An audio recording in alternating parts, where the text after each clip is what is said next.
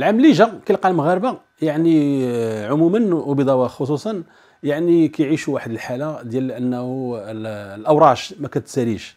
هاد الطريق محبوسة هاد الملعب كيتصايب هاد الساحة كتبدل هاد الزنقة حقا نعتذر لكم على الإزعاج إلى آخره.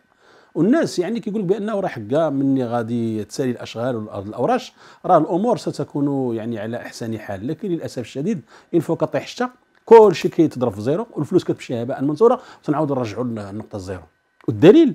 هو هذه الفضيحة والكارثة اللي عاشها مدينة الدار البيضاء يوم 5 و 6 يناير 2021 إذ يعني الفساد عرى واحد المنظومة يعني كارثية في مدينة الدار البيضاء. والله سبحانه وتعالى ملي كيبغي يعذب النملة كيدير لها جناح الحكومة المغربية في شخص سعد الدين العثماني درت اليوم الوطني لمكافحة الفساد واختارت واحد النهار اللي هو 5 يناير. بحال زعما المغاربة ما عارفينش الفساد بحال المغاربة ما عمرهم شافوا الفساد بحال المغاربة محتاجين لشي واحد يجي يبدا يخبر لهم على على الفساد. والمغاربة راه عاشوا مع الفساد. الفوه واستأنسوا به وغسلوا يديهم على أي سياسة ممكن تحارب هذا الفساد. ولا بروف هو أنه النهار اللي هي دايرة اليوم الوطني لمكافحة الفساد الحكومة جات شتا وعرات وبينات الفساد في مدينة الدار البيضاء. 33 مليار ديال الدرهم مشات هباء منثورا ما كايناش شي منطقة في المغرب شي جهة في المغرب اللي تحط فيها هذا المبلغ إلا مدينة الدار البيضاء. ميم الصحراء الأقاليم ثلاثة. يعني الجهة ديال وداب والجهة ديال العيون والجهة ديال قلميم اللي كتمثل هذه الأقاليم هذه الجهات بثلاثة. 55% تقريبا من المساحة ديال المغرب. ما تحطش فيها هذا المبلغ. كلها تحط فيها 77 مليار ديال الدرهم. الدار البيضاء 102 ألف هكتار تحطت فيها 33 مليار ديال الدرهم. ولكن للأسف الشديد بدل أن يتم تأهيل مدينة الدار البيضاء كما قيل لبيضاوه إذا هذيك 33 مليار مشات مع أربعة ديال الجغمات ديال ديال ديال المعلاش حيت كاين الفساد. وعلاش هذا الفساد كاين في مدينة الدار البيضاء؟ حيت المسؤولين اللي كيسيروها سواء في مجلس المدينة ولا في الولاية ولا في شركة التنمية المحلية عندهم واحد القناعة تامة وكبر فيهم واحد الغرور بأن المغرب دولة ديال لا عقاب. المغرب دولة لا حساب. المغرب دولة لا مراقبة. بمعنى دير اللي بغيتي ما كيدير حتى واحد. واحد ما غادي يحاسبك. وهذا هو السبب الذي خلى المسؤولين ديالنا اللي كيسيروا مدينة الدار البيضاء يتمادون في غيهم ورجعوا مدينة الدار البيضاء أضحوكة في les réseaux sociaux على مستوى على المستوى العالمي ناخذ العمدة مثلا ديال الدار البيضاء. ما غاديش نتوقف على شحال جاب من صوت. يعني 7121 في الانتخابات الأخرى. يعني لا تمثل حتى يعني 0.3% من مجموع الناخبين ديال مدينة الدار البيضاء. لأن هذه المسألة غادي نتجاوزها. العمده ديال الدار البيضاء لا يحس بأنه عنده شي كبده على هذه المدينة وعلى هذه البلاد. هو يعتبر نفسه محمي بواحد الحزب وهذاك الحزب يعتبر نفسه دولة داخل دولة وبالتالي العمدة لا يعتبر هذوك القوانين ديال الدولة المغربية معني هو بها. التي تضمن وجوب تجويد المرفق العمومي وجوب ضمان السير العادي للمصالح لبضاوة إلى آخره وغير معني بها نهائيا. الوالي ديال الدار البيضاء من نهار جا تعين هو سد عليه في البيرو ديالو.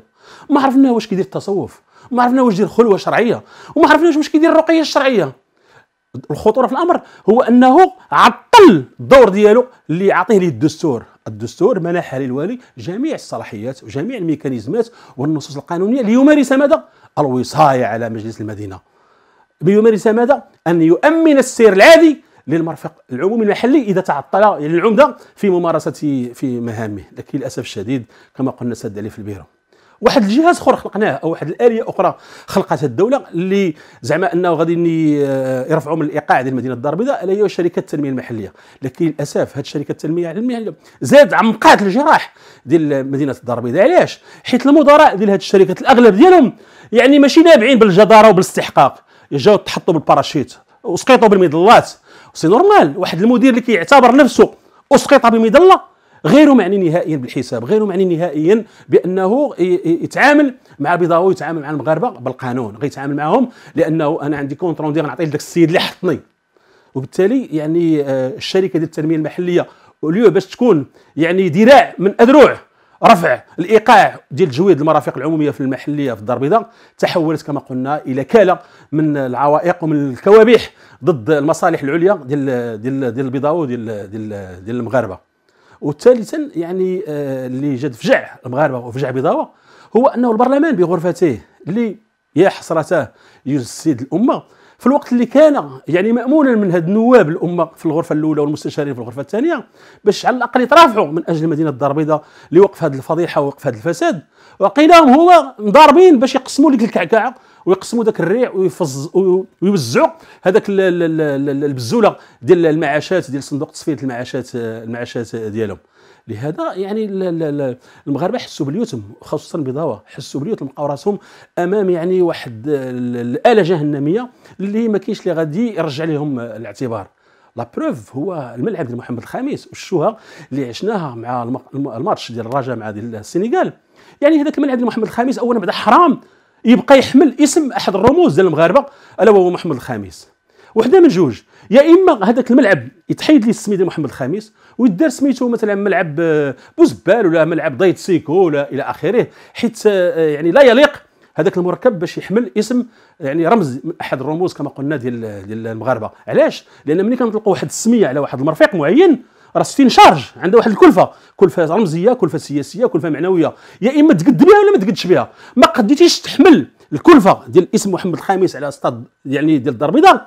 فمن الأحسن يعني نحيدوا السميه ديال محمد الخامس ونسميو كما قلنا يعني بوزبال ولا ولا ولا ضيط سيكو.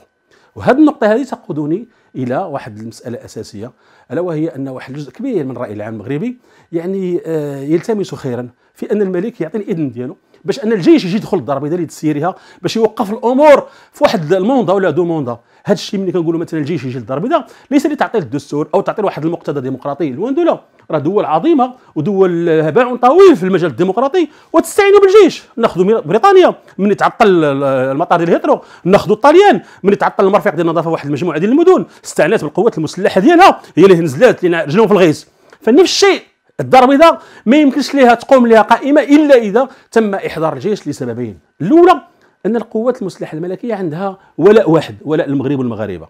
ثانيا الجيش المغربي معروف خاصة الفرق الهندسية ديالو بالكفاءة وبالخبرة وبالسرعة وبالانضباط في إنجاز المهام. والدليل هو ما حدث مؤخرا في الكركارات بحيث فرمشة عين دخلت الفرقه ديال الهندسة العسكرية وطهرت وحررت هذاك المعبر من العصابة ديال البوليزاريو وكملت الجدار الأمني الأخير لتأمين الأقاليم الجنوبية المغربية. فلهذا مطلوب أن الجيش يدخل الدار البيضاء باش يطهرها من العصابة ديال الخونة ومن العصابة ديال الفاسدين والمفسدين.